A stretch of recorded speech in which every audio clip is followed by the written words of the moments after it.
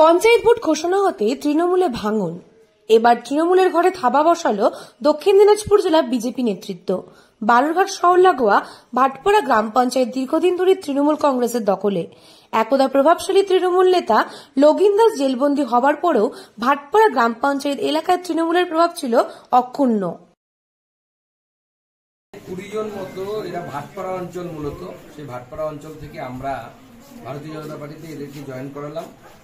এরা হচ্ছে ভাটপাড়া অঞ্চল যে গতবার তৃণমূল কংগ্রেস পেয়েছিল, তার মূল চালিকা শক্তি হচ্ছে এই সমস্ত কার্যকর্তারা ছিল তৃণমূল কংগ্রেসের আজকে তারা তৃণমূল কংগ্রেস ছেড়ে তৃণমূল কংগ্রেসের দুর্নীতি এবং তৃণমূল কংগ্রেসের এই একশো দিনের কাজ, প্রধানমন্ত্রী আবাস যোজনা এইসব দুর্নীতি দেখে আমাদের ভারতীয় জনতা পার্টির পতাকা ধরে আমাদের সম্মানীয় জেলা সভাপতি স্বরূপ চৌধুরী এবং অন্যান্য নেতৃত্ব যারা, তারা বিধায়ক থেকে শুরু করে জেলা সাধারণ সম্পাদক, তারা এদের হাতে ভারতীয় জনতা পার্টির পতাকা তুলে দেয়।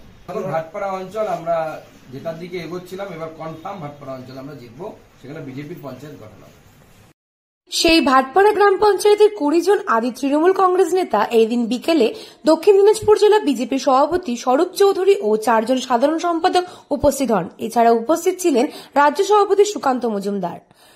সুকান্ত মজুমদারের হাত ধরে তৃণমূলের এই নেতারা বিজেপিতে যোগদান করেন, যা নিয়ে রীতিমতো শোরগোল পড়ে গিয়েছে স্থানীয় রাজনৈতিক মহলে। ভাটপাড়া অঞ্চলে পুরনো তৃণমূল কংগ্রেস নেতৃত্বকে নতুনরা যোগ্য সম্মান দিচ্ছেন না। তাদের কোনো কথাই শুনছেন না নতুন নেতারা। কিছু কিছু দুষ্কৃতীরা ওরা তৃণমূলটা আমাদেরকে পরিচিত করে ওরা সেই আসনটা ওরা নিয়েছে।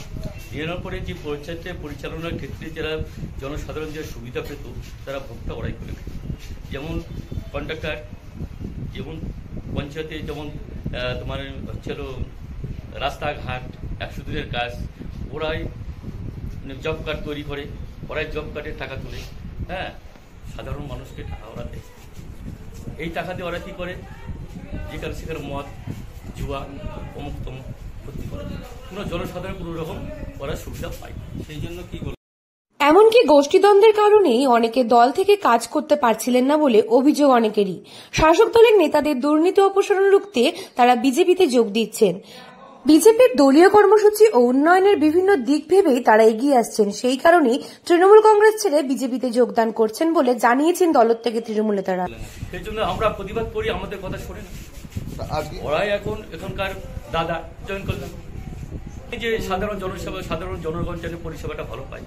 অঞ্চলে যেরকম দুর্ভোগ, কোনো রাস্তাঘাট করতে গেলে তাদেরকে আগে কুড়ি পার্সেন্ট করে ট্যাক্স দিতে হবে। হ্যাঁ? কুড়ি পার্সেন্ট করে তাদেরকে এই দিতে হয়। বসে বসে তারা মানে হাটমানি খাচ্ছে ওরা। তারপরে কাজ ভাগ করে দিচ্ছে, সেই কাজটা ভালো হচ্ছে না। জয়েন করলাম আজকে আরও বিগত দশ পনেরো পরে আরও মোট পঞ্চাশ ষাট জন আবার জয়েন করব।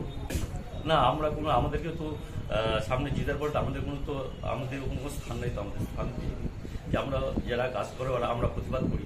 হ্যাঁ প্রতিবাদ করলে যেটা তোদের দরকার নেই, তোরা চলে আমরা চালাবো।